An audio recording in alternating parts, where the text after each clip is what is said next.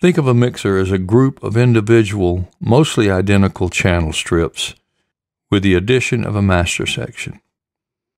Starting with the gain down, while the vocal or instrument is checking at their loudest performance volume, slowly raise the gain control until the signal shows a maximum of 0 dB on the mixer's meters.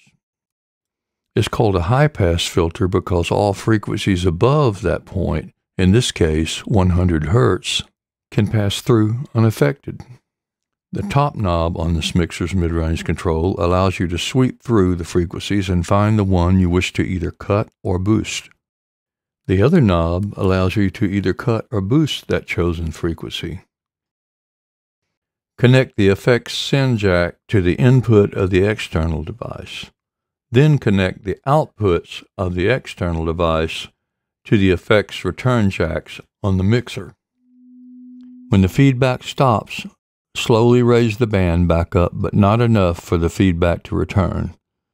But you can cut back the mid-range control, then sweep through the frequencies with the second mid-range control until you find the offending frequency. For example, you could assign all drum mics to group 1 and all vocal mics to group 2 when you adjust group 1, all of the drum mics would go up and down together. You set the limiter's threshold for the maximum signal level you wish to allow, and it will keep the signal within that dynamic range.